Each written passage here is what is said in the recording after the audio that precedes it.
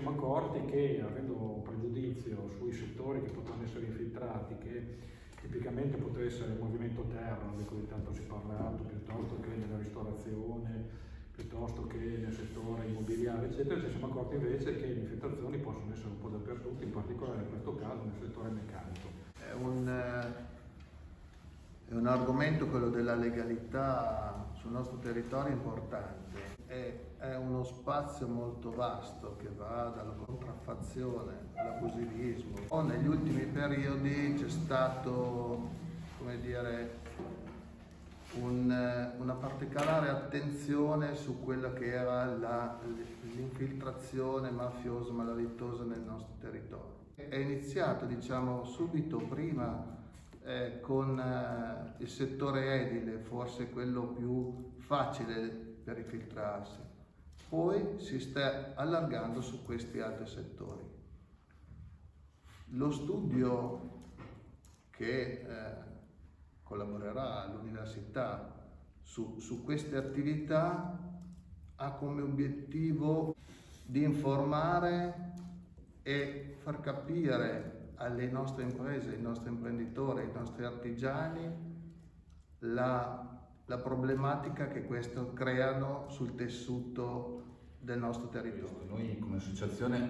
abbiamo aderito molto volentieri a questo progetto, non ci vogliamo sostituire a nessuno, alle forze dell'ordine in particolar modo, ma crediamo che attraverso questo lavoro dell'università si possa avere uno strumento tale che possa sensibilizzare le nostre piccole aziende che non hanno strumenti diversi per andare in un qualche modo a capire preventivamente quando si trovano un, in una situazione eh, di, questo tipo. Eh, inconsapevolmente magari poi si trovano coinvolti, coinvolte in, in,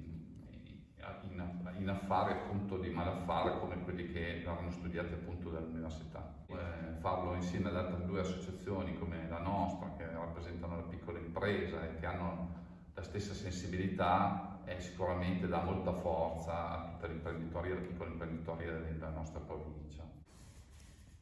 Allora io vorrei eh così, ringraziare innanzitutto per questo stimolo che, che, è arrivato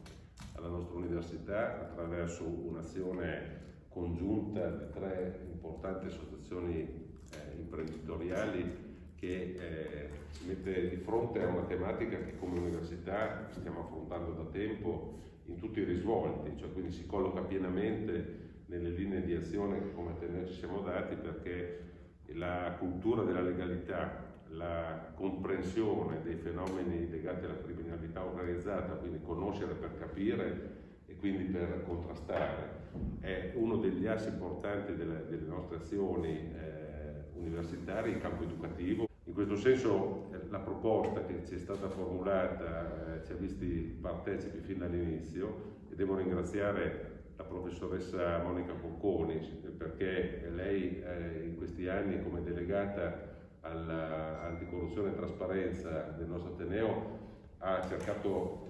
in modo molto significativo di portare avanti sia la diffusione della conoscenza sia l'attività eh, di coinvolgimento degli studenti. L'auspicio che io eh,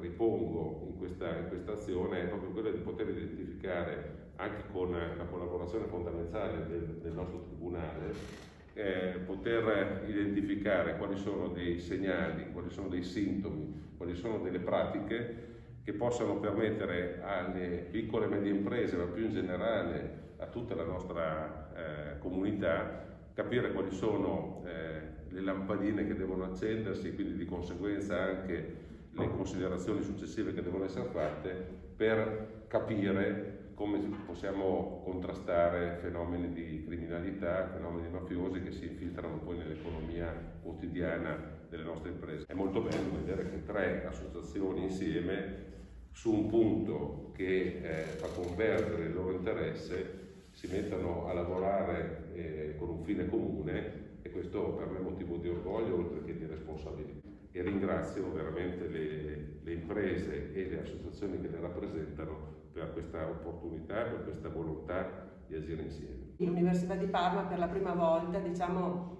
viene inserita nel circuito virtuoso di attuazione del testo unico regionale sulla legalità e diciamo eh, che eh, ha come obiettivo quello di attuare forme di prevenzione sulla permeabilità appunto mafiosa dell'attività imprenditoriale dei territori. Per la prima volta io ho fatto questo progetto Osservatorio della legalità che è stato apprezzato, ha avuto anche un finanziamento regionale. Credo che sia motivo di orgoglio per l'università essere inserita, oltre che per la regione essere inserita in questo circuito virtuoso e, e quindi eh, questo, però questa azione è la prima volta che concretizza una sinergia di terza missione con le associazioni professionali di categoria presenti sul territorio. Grazie davvero anche alla professoressa Cocconi per eh, averci coinvolto perché anche il lato penso multidisciplinare con cui affrontiamo eh, questo progetto penso sia importante perché eh, ci sono diverse anime insomma, che compongono il nostro Ateneo, da chi approccia più il lato micro aziendale come, come noi, il lato giuridico e quindi penso che questa sia una sinergia eh, particolarmente mh, interessante e importante da, da sviluppare e eh, come diceva il magnifico rettore in precedenza l'obiettivo è proprio quello di cercare da un punto di vista anche economico aziendale di comprendere quelli che sono i fenomeni e tipizzarli, eh, sistematizzarli